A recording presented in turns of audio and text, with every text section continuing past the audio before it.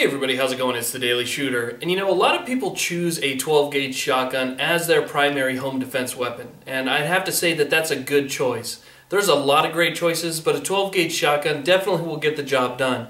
But now that you've made the choice to actually use that as your home defense weapon, what type of ammo should you use? Because a 12 gauge is so versatile and there's so many different shells uh, available for it uh, and there's so many rumors and myths about you know what can penetrate this and what's over penetration and under penetration that it really can get confusing.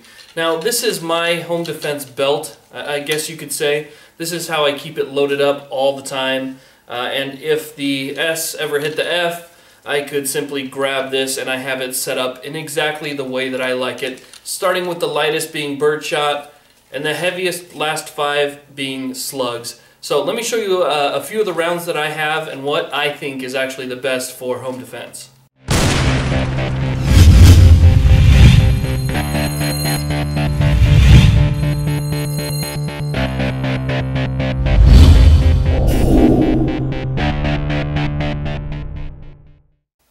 Okay, so here's one of my ammo cans that contains some of my high brass stuff. And you know, if you don't know the difference between high brass and low brass, just a really quick visual for you. As you can see, the two shells on the side here, which are birdshot, have a very low or small brass section, which allows for a small amount of powder. So a small charge, low recoil.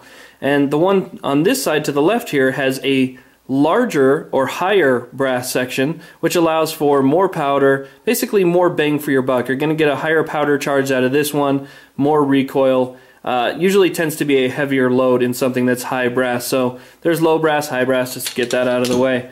Now back onto the topic of this particular video, which is uh, my favorite round for home defense when it comes to 12 gauge. Now, keep in mind that I know that there are opinions, okay? People have different opinions on what they feel is right for them, and I am not here to tell you what's right for you. I'm just here to tell you my opinion and what I think works for me because you get people that are very passionate about overpenetration and they will only use something that is number 7, 8 or even a number 6 shot. And then there's the other people who say that, you know, what's the point unless you're going to use something heavy like a slug or double, triple aught buck, single aught buck, something like that. Um, so there's both sides of the coin, and I think they both have arguable points for sure. But the way that I see it is, if you're going to use something like a lighter load, like a number six, uh, seven, or eight, because you're worried of it go maybe penetrating through drywall and injuring somebody on the other side, you're starting off kind of with the wrong mindset. And that is simply because if it has a hard time going through drywall, it's going to have a hard time going through clothing. And you don't want something that's going to have a hard time going through clothing, especially in, let's say, the winter time like it is now, where you're going to get people that may break into your house with a heavy coat or something like that on. Now, yes, birdshot will go through drywall. Not all drywalls, you know, there are sheetrocks out there that are extremely dense and very thick, and it may not go through that, but for the majority of the houses that are out there, yes, birdshot will still go through drywall and can still injure people. There's a lot of tests on YouTube about that. So that pushes me into the other side of the coin. I am somebody who believes if somebody's going to break into my house and has the intention of injuring or even killing myself or my family, I need to stop that threat. I need to stop them now, and I'm going to hit them hard. And this is my favorite 12 gauge ammo for home defense for that exact reason. This is the Winchester PDX-1 12 gauge uh, Defender. This particular load, as you can kind of get from the picture right there, and I apologize for the glare, uh, shoots out three buckshot balls followed by a one ounce Foster slug, and it hits very, very hard. This stuff is a little bit more expensive, but I think that it's worth it. Now, if you're recoil sensitive, you may want to take just, you know, grab a box of this and go out to your shooting range, practice with it first, make sure that's something that you can use. But this is some fantastic ammo. I absolutely love it. And I went out and did some shooting with this, five gallon water jugs and whatnot, and I'll roll in some footage of that so that you guys can see kind of how hard it hits. Uh, five gallons of water is very heavy, and it lifted that thing up off the table and blew a pretty good sized hole in it. Now, this particular stuff right here has a really nice pattern, and it seems to work well.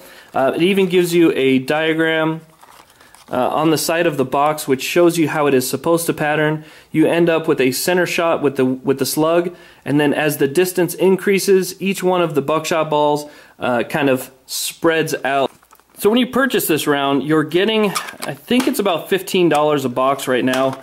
I'm not 100% sure because I bought several boxes of this back when we were having that uh, kind of ammo shortage. And as you can see, it comes in 2, 4, 6, 8, 10 rounds per box. And it is well over a dollar per round, so it does get a little bit pricey. But if you ever had to use it uh, to defend yourself or your family, you're going to be happy that you spent that extra money. Now, feel free to disagree with me. Feel free to uh, put in the comments section that maybe you like a BB because you feel that BB is um, uh, something that's kind of in the middle of penetration uh, as far as that goes. This is, again, like I said, my opinion, and I absolutely love this stuff. So let me know what you guys think in the comments. Please like, subscribe. You guys have a great day.